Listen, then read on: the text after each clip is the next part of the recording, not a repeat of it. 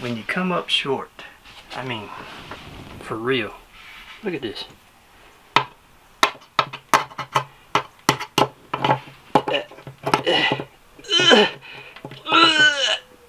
Man.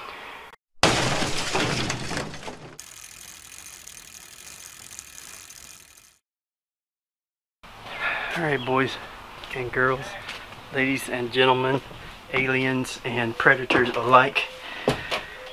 We have been hard at work and uh, I know you guys didn't want another boring cabinet making video so I made this cabinet to go on top and uh, let's see if I can zoom out. And I've got the microwave in and I've got some nice storage space on the right there. Couldn't put it all the way to the front there but have no fear. Uh, there's a couple things might go there, either storage or I've got a CO2 fire extinguisher that I'm probably going to hang there too since I've got all this electrical stuff down here. Alright, so here's the, uh, the uh, vanity I made the other day. I've got, uh, I made this flip up table as well. And then I've got to cut the uh, tailpiece drain pipe off and get it fit into the uh, gray water tank because I have the tube, the clamp, and the jug now. So feeling pretty good there. And then the next mission is going to be to put some kind of small storage along the side here on the passenger side and not uh, be too overwhelming like the kitchen thing here. And then probably also some kind of storage down here and maybe something there behind the driver's seat. So anyhow, the fun continues. So yeah, so right now I'm bending brackets to, uh, to keep the microwave from uh, floating around. And uh, here's an outside view of the flip up prep table. And uh, I'm not sure if it's extended long enough. Uh, I've got a seat swivel coming in, so maybe Probably not close enough to be like a laptop workstation, but I actually might make this top bigger. I've got a few inches. I could probably actually make it a little bit bigger. It's, you know, semi-sturdy. So, uh, yeah, we'll see when the sweet seat swivel comes in. Alright, so currently what I'm doing are bending these L brackets into this shape.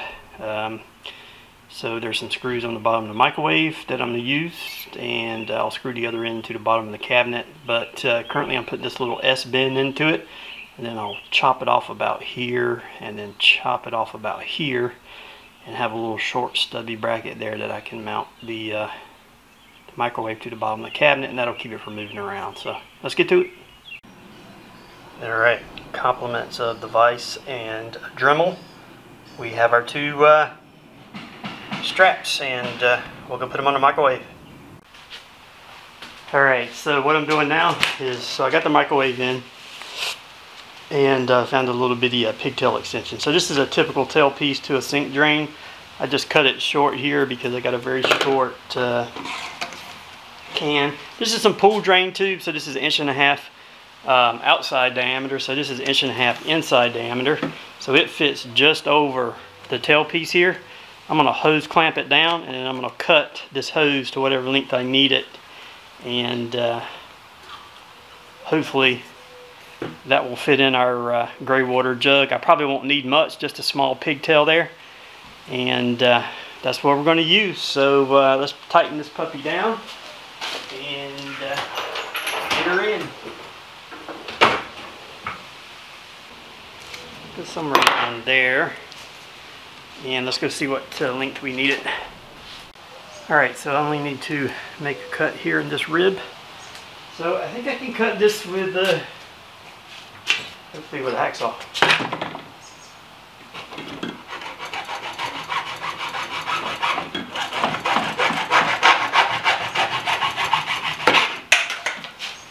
Indeed. This is part. By the way, this is a pool drain tube perfect fit and cheap. I think these are used for drain and also for the sump pumps.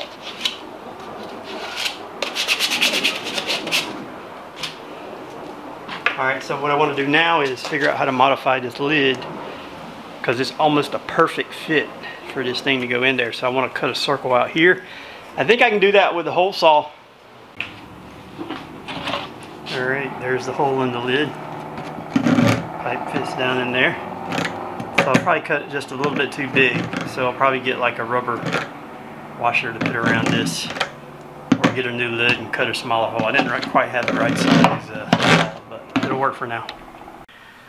When you're in the pinch, rubber bands work great as a seal. Put two of them around it, much tighter. All right.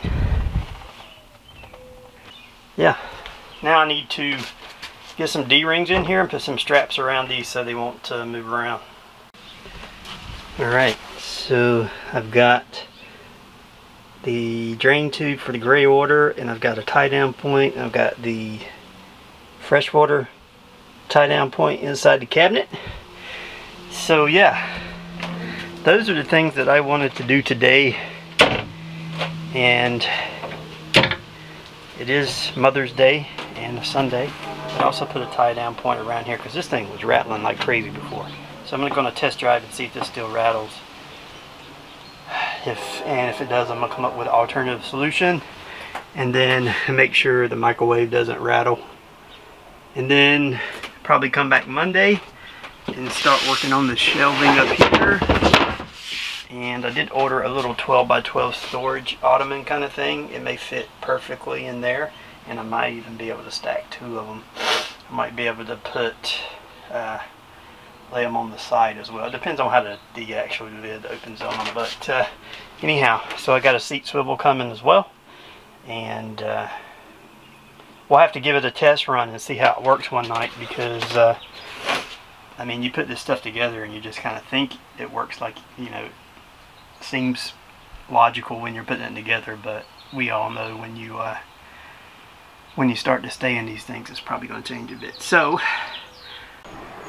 alright so the other thing I did uh, this past week was actually install this keypad it's basically just double-sided tape but you can uh, program this using the procedure in your owner's manual. It's, it's somewhere around page 55, 56, upper 50s in the owner's manual, but uh, it's kind of great to not have to pull the key out of your pocket and you can kind of enter you can enter the van and lock the van. So I think that'll be good for riding kayaking whatever trail hiking any of that stuff. So the next thing I got to do is um, let's see where is it?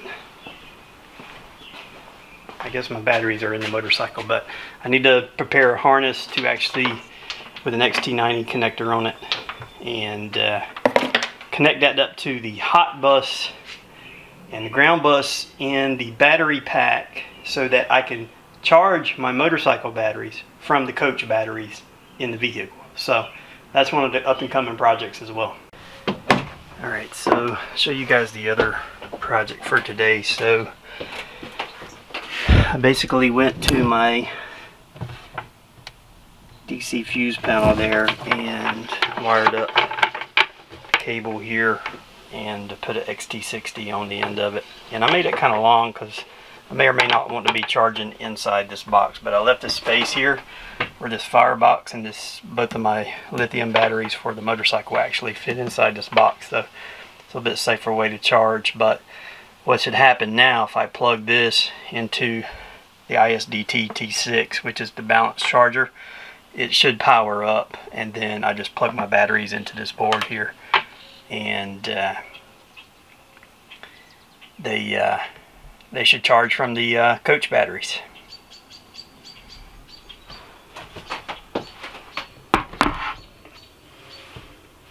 so let's see what happens when we plug this in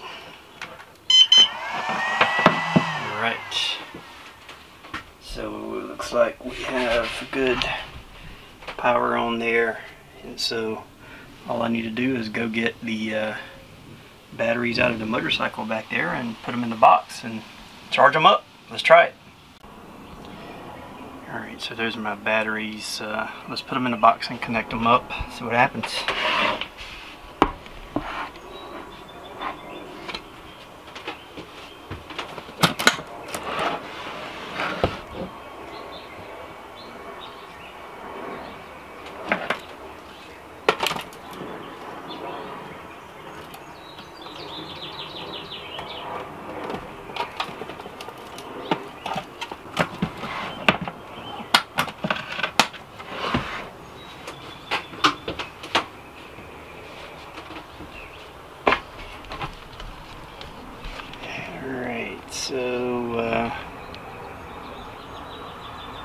See what happens.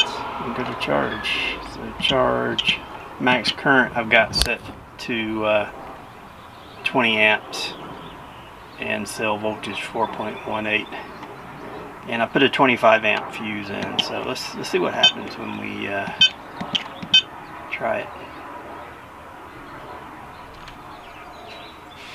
I might end up turning the, the current down but uh, let's see how much draw is uh, going to occur here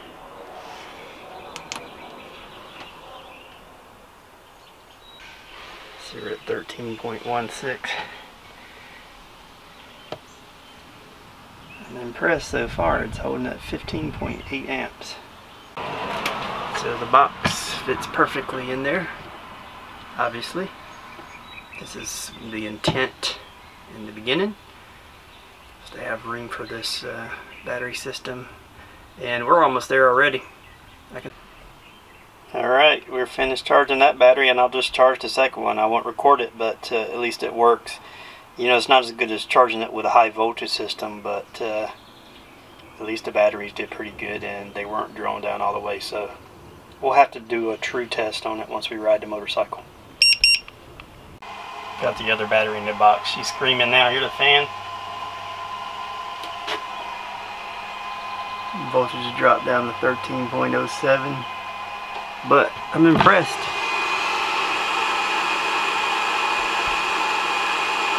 Let's see how long it takes. Here we are, we're done. Alright, so final update on the small projects. Obviously, uh, with some paper towels there. And then also, I put this Defender uh, mat down. It's supposed to uh, keep mold from populating it's got a cloth side and it has this kind of like mesh plastic side. And uh, you put the mesh plastic down and it lets the airflow go under the actual mat. So the other thing that you may notice is that uh,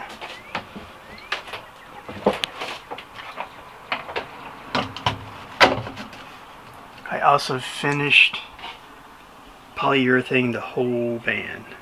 So all the sides, all the way down the top, the ceiling. So I had to do that because my next project, before I take a small break on building this thing out, is going to be to build some type of storage up there. Um, smaller type storage, but uh, storage nonetheless. So uh, that's probably what I'm going to tackle tomorrow, but uh, we'll see. Alright, that'll do it for today's video. Just a quick update. Give me a thumbs up if you like the content. If you haven't subscribed to the channel, it'd be awesome if you go click that bell for post notifications and also click the subscribe button. You know what to do. Till next time, skill up and ride. Man up and go.